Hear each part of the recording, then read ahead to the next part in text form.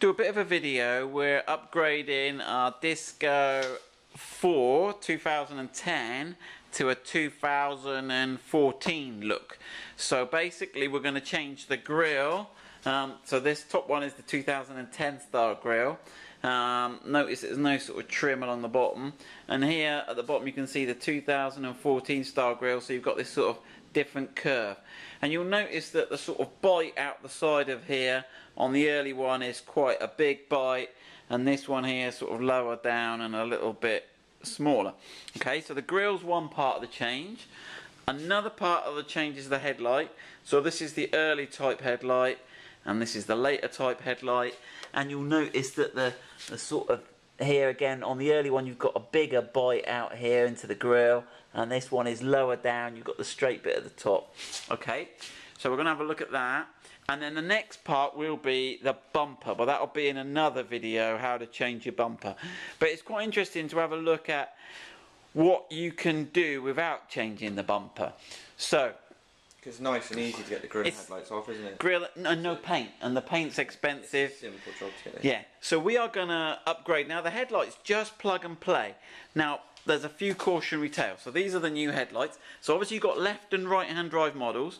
You've also got AFS, non AFS, um, and Xenon and non Xenon. So, right, so just to show you, the, the non Xenon type, I've got nothing under here. There's a big hole where that should be. And the Xenon type, when you look underneath, have got that. Now there's actually another telltale. In fact, let me just move that one. Can you move that one out of the way? Let's slide them here. There we go. Right, here we go. So let me get this right. So this is Xenon. Now the Xenon type, you'll notice this has got an orange indicator. You see the orange colour in there. The the halogen type has got the indicator around the corner there. So they started to move things around, but that's got to be the big telltale. And if you're looking for a set on eBay, if they've got the indicator on the side, they're halogen. If they've got the indicator in the middle here, the orangey bit, they're xenon. Okay, there's a few other little. You see, it's got some little rings around the the sort of lens there on the xenon, and on the halogen it's just chrome. So there's a few little geeky telltale tale signs. Right, you want to grab one of the halogen headlights? So this car was halogen. We're going to grab a halogen headlight. Connector's the same. The pinout's the same. We've tested it all, and it all it literally does plug and play. So if you want to fit that in. Now Ian thinks. Now notice we're leaving the Disco 4 front bumper on for now, and and we want to show you what prop. Um, because this is. We'll show you what what does fit and what doesn't fit, right? So do you want to whack the other one in as well, Ian? Put the other halogen on. So there's a super quick upgrade here where you could literally swap that over. You'll notice that all the lines with the wing are fine. The line along the bottom of this bumper's fine. Ian reckons it's a bit tighter, but Just nothing. bottom It's edge. just that bottom edge is just a little bit. You can see how high that that pin Oh, that pin is. You need to just give him a little bit of a. He's quite tight.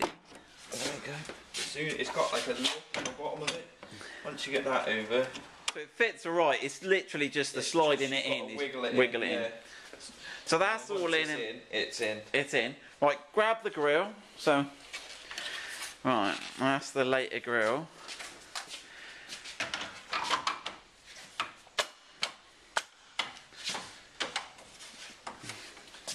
And again on these ones. Yeah, that looks like it's not quite. Stop. Right. It looks. It looks well high here. It looks like you got to push that. Why isn't that pushing down? There's ah. Look that pin. We got to cut that pin off. Look. Okay, so there's a mod, right? Mod, mod, mod, mod. Does it need cutting off? Or is Yeah, just me? defo needs. Or is it you being not? Yeah. Yeah. Okay. You not pushing it in. Okay. And then it. Right, hold on, let me get back. Uh, go on, let's show them that, actually. Let's just show them that. Right, we just had a little problem there when you're inserting it. When you put the grill on this later one, there's a little, oh gosh, sorry, there's this little peg that sits out there. You can see that peg. Make sure you get the from the peg, the pig, the peg, get the peg in first, not the pig in first. Alright, and then, right, so you could, yeah, lower the bonnet, watch the power charger, but it's, you could actually do a conversion like that, okay?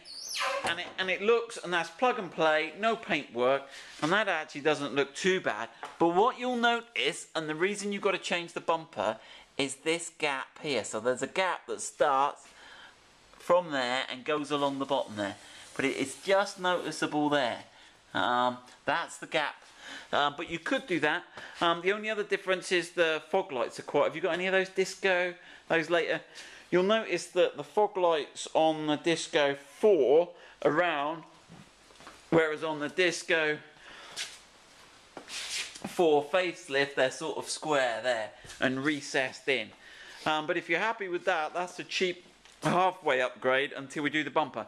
Now we will do the bumper change, how to remove the bumper and show you how to do that. But that's the sort of top half upgrade done anyway. Okay, good luck with that. One thing we've just added at the end of the video here is the headlight functionality. So we haven't changed anything here. We've put taken halogen headlights out, put halogen later types in. Right, side lights. There you go. That's the side light on the halogen. Um, indicator. That's the indicator. Dip beam. That's the dip beam. Main beam. Dip beam. Yeah, so everything works there. Um, straight, no wiring changes. But if you were to put the xenon in, I could prove it. What will happen is that, oh, go on, we'll do it. We'll put the xenon in. We'll just take the grill out and we'll come back and we'll put the xenon in and show you what does and doesn't work. Okay, so we've now put the xenon in, the, oh gosh, where am I? The xenon in this side, the halogen in this side. So uh, put your hazards on first, Ian.